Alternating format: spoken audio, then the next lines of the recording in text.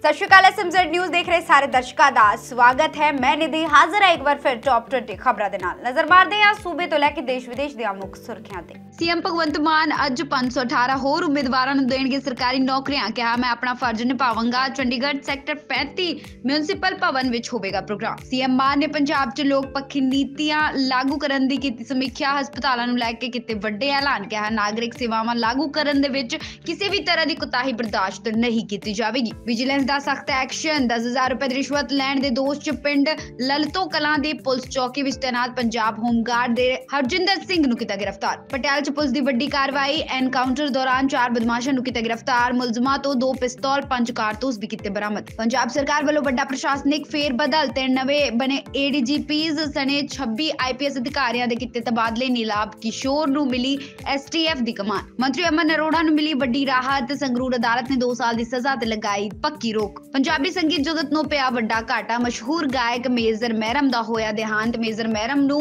Mini Sardool Sikandar ਵਜੋਂ ਵੀ ਜਾਣਿਆ ਜਾਂਦਾ ਸੀ। ਭਾਨਾ ਸਿੱਧੂ ਦੀ ਮੁਹਾਲੀ ਅਦਾਲਤ 'ਚ ਹੋਈ ਪੇਸ਼ੀ। ਕੋਰਟ ਨੇ 14 ਦਿਨਾਂ ਦੇ ਨਾਇਕ ਹਿਰਾਸਤ ਤੇ ਭੇਜਿਆ। ਪੰਜਾਬ 'ਚ 1317 ਫਾਇਰਮੈਨ ਦੀ ਭਰਤੀ ਦਾ ਰਾਹ ਹੋਇਆ ਪੱਧਰਾ। ਹਾਈ ਕੋਰਟ ਨੇ ਹਟਾਈ ਰੋਕ। ਹਾਈ ਕੋਰਟ ਨੇ 24 ਨਵੰਬਰ 2023 ਨੂੰ ਲਗਾਈ ਸੀ ਰੋਕ। ਬਜਟ ਤੋਂ ਪਹਿਲਾਂ ਵੱਡਾ ਤੋਹਫਾ। ਕੇਂਦਰ ਨੇ ਮੋਬਾਈਲ ਫੋਨ ਦੇ ਪਾਰਟਸ ਤੇ ਘਟਾਈ ਦਰਾਮਦ।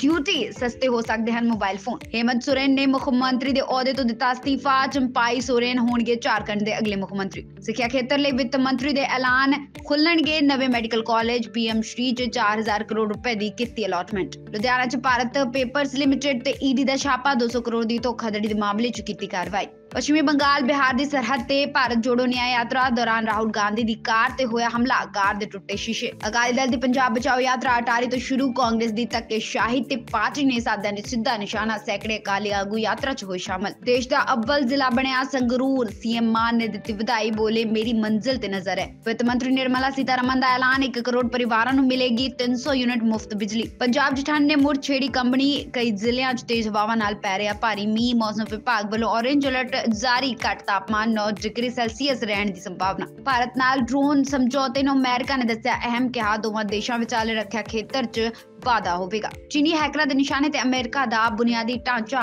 FBI ਡਾਇਰੈਕਟਰ ਨੇ ਜੁਤਾਈ ਚਿੰਤਾ, ਹਮਲੇ ਦਾ ਸਮਾਂ ਤੈਅ ਕਰੇਗਾ ਚੀਨ। ਇਹ ਸਨ ਹੁਣ ਤੱਕ ਦੀਆਂ ਮੁੱਖ ਖਬਰਾਂ। ਮੈਨੂੰ ਦਿਓ ਇਜਾਜ਼ਤ, ਫੇਰ ਹਾਜ਼ਰ ਹੋਵਾਂਗੇ ਨਵੀਆਂ ਤੇ ਤਾਜ਼ੀਆਂ ਖਬਰਾਂ ਦੇ ਨਾਲ। ਦੇਖਦੇ ਰਹੋ ਐਸਐਮਜ਼ੈਡ ਨਿਊਜ਼।